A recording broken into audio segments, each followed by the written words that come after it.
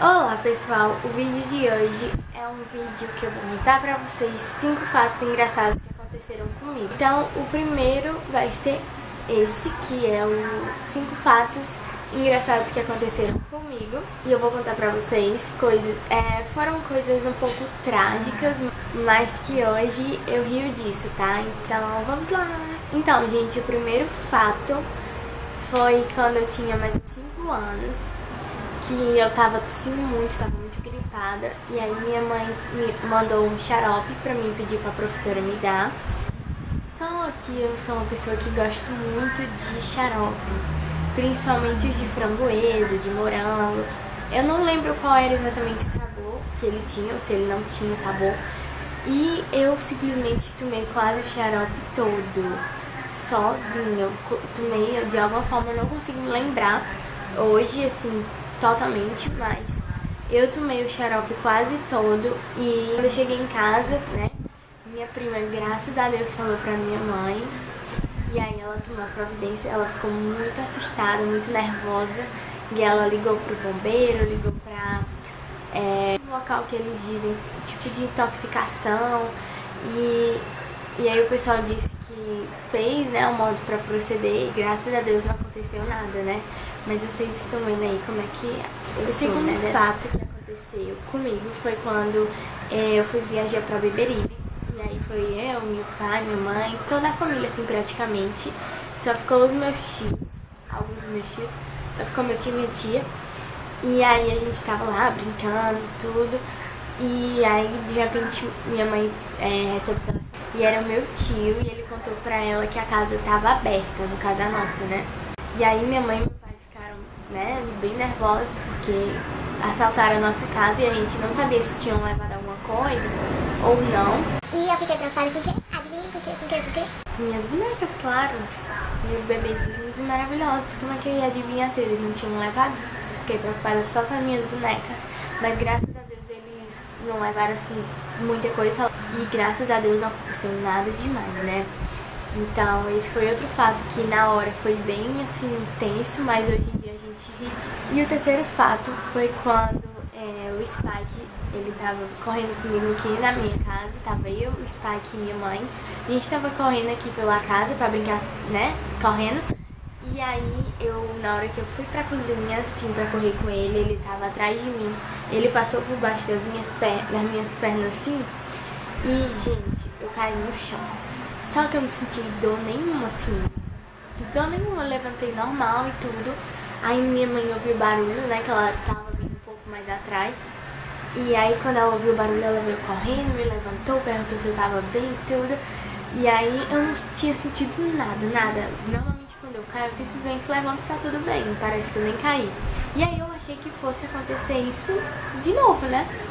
Só que é, meu braço não tive dor, assim, mas ele começou a ficar um pouco inchado.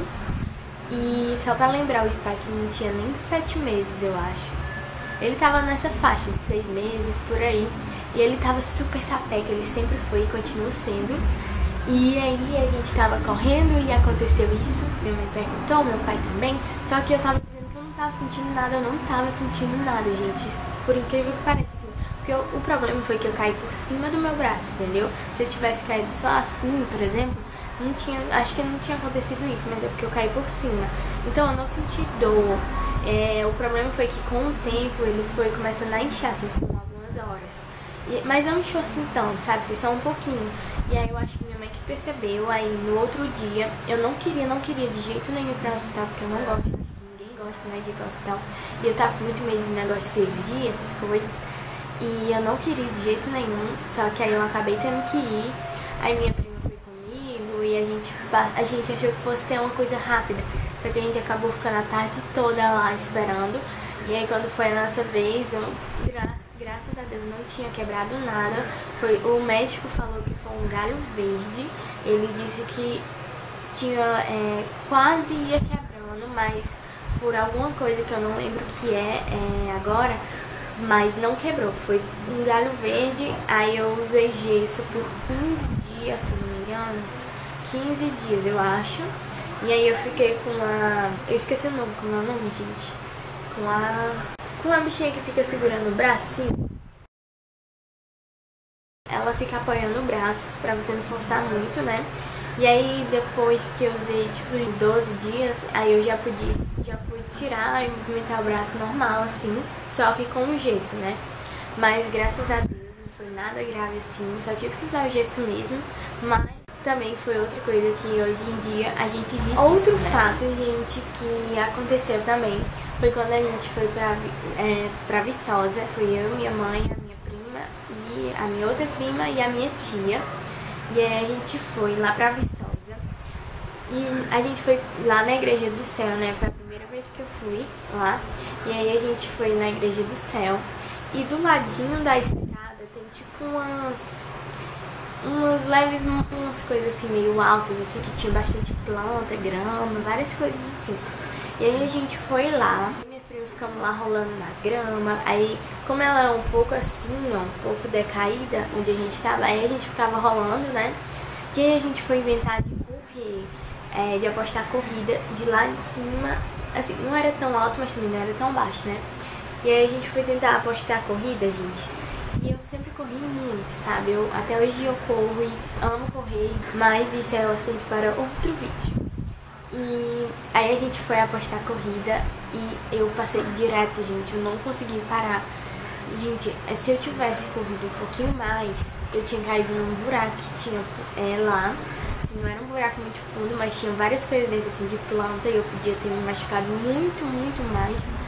E aí eu corri, depois é, eu vim muito rápido, muito, gente, eu não conseguia parar. Se eu fosse parar de alguma forma, tentar segurar em alguma planta, ia ser muito feio. Então eu não consegui parar, gente, não tinha como. Eu tava muito rápida e aí, assim, com a descida piorou.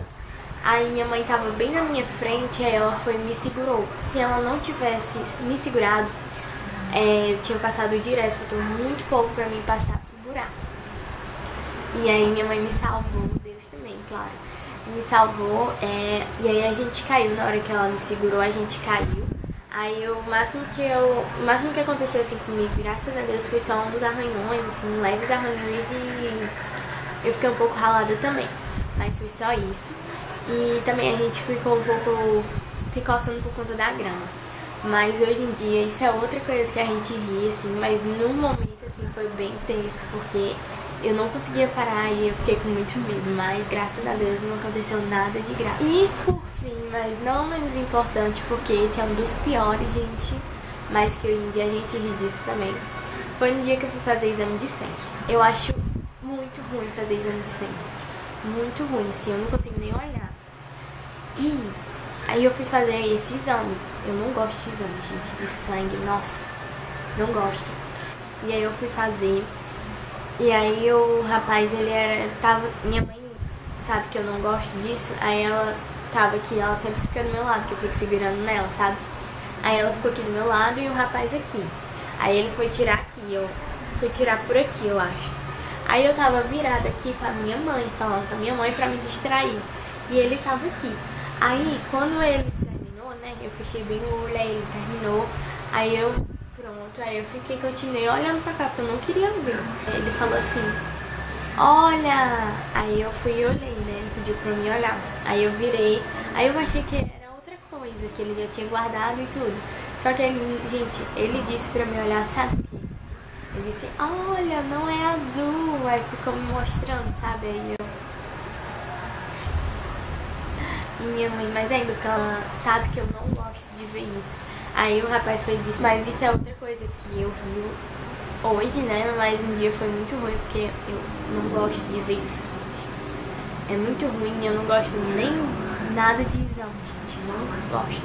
Quero que faça guarde e Então, pessoal, foram esses os cinco fatos engraçados que aconteceram comigo. Eu espero que vocês tenham gostado e tenham rido com essas minhas loucuras que aconteceram, né? Não esqueçam de vocês gostam mais desse vídeo de bate-papo, curtam bastante que eu vou fazer mais, tá? Se vocês curtirem bastante. Não esqueçam de comentar aqui embaixo. Um super beijo e até o próximo vídeo. Tchau!